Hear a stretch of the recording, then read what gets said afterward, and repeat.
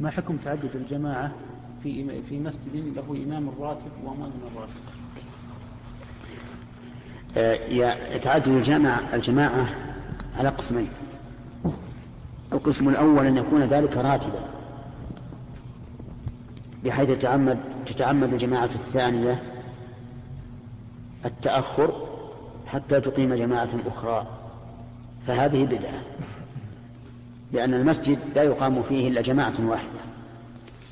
والقسم الثاني أن لا يكون ذلك راتبا معتادا. لكن بعد أن تنتهي الجماعة الأولى يأتي أناس يدخلون المسجد فيصلون الجماعة وهذا مشروع وسنة. لأن النبي صلى الله عليه وسلم كان مع أصحابه ذات يوم فدخل رجل قد فاتته الصلاة فقال من يقوم يصلي مع هذا يتصدق عليه. أو قال من يتصدق على هذا فيصلي معه.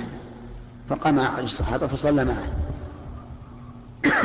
ولأن النبي صلى الله عليه وعلى آله وسلم قال صلاة الرجل مع الرجل أزكى من صلاته وحده وصلاته مع الرجلين أزكى من صلاته مع الرجل وما كان أكثر فهو أحب إلى الله. وأما توهم من توهم من الناس أن إقامة الجماعة الثانية بدعة فهذا صحيح فيما إذا كان على وجه الراتب. معتاد كما قلت لك. أما ما كان طارئا فإن إقامة الجماعة الثانية سنة بأمر النبي صلى الله عليه وعلى آله وسلم. نعم. لا في المسجد أحسن. لأنه في المسجد ربما يكثر الجماعة. يدخل معه ناس يأتون فيما بعد فيكون أفضل. ثم إن الغالب أن الإنسان يخرج من بيته إلى المسجد من أجل أن يصلي مع الجماعة فتفوته فيأتي وهم قد صلوا فإذا أقام في المسجد كان هذا أنفع له ولغيره لأنه ربما لو رجع هو وصاحبه للبيت وصلى يا جماعة يأتي إنسان واحد مثلا دخل بعد إقامة الجماعة الأولى ولا يجد جماعة فتفوته الجماعة. الأفضل أن تكون في البيت. نعم لو فرض أنه علم أنها انتهت الجماعة.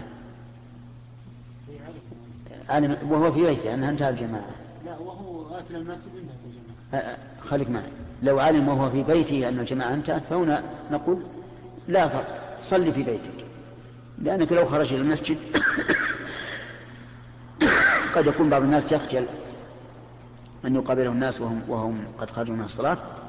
فيصلي في بيته أما إذا قد جاء ودخل المسجد ووجدهم قد صلوا فلا ينصرف بل يصلي الجماعة في المسجد.